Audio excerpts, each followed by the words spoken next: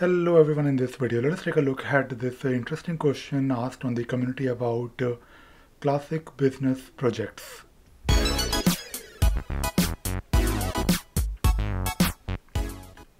So this question was asked by Mark uh, recently on uh, the community and the question is all about uh, uh, what is the difference between Jira Cloud and other applications like Jira Software and Jira Service Desk.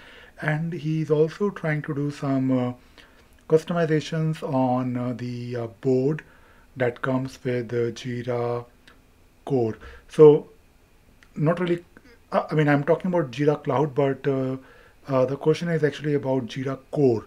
So if you're not familiar with how Jira works or in how many flavors you can have Jira, so Jira comes with Jira Core, Jira Software and Jira Service Desk. And when you talk about uh, the capabilities of these three different flavors, Jira Core of course is uh, useful for business uh, or non-technical based projects. Where you can have uh, your customizations, you can create a project, you can manage your work, you can manage your issues, uh, and uh, you have the full power of Jira, but uh, you don't have any board or you don't have any portal.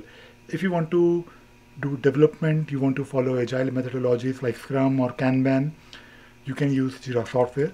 If you want uh, to create a help desk, you can use Jira Service Desk. It comes with a portal, it comes with the SLA, it comes with uh, queues, and of course other features. But uh, Jira Core is like uh, uh, the most basic version of Jira and even if you are using a Jira software or Jira Service Desk, uh, by the way, you can have Jira core only. I mean, uh, you can just purchase Jira with just the core and you can use it. But if you're using Jira software, it comes with the core as well. So you can create a Jira core project and you can also create a Jira software project. Similarly for Jira Service Desk as well, you can have Jira core based project or Jira Service Desk based projects. And you can have a combination of these three. So Jira Core is not free, but if you're using Jira Software or Jira Service Desk or both of them, you still have Jira Core available with you.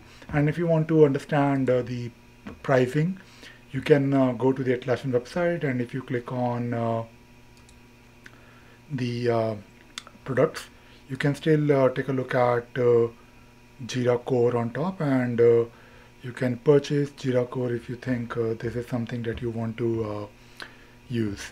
So this is all I wanted to share in this video. I hope you learned something new today and you uh, found this video useful. Thank you very much.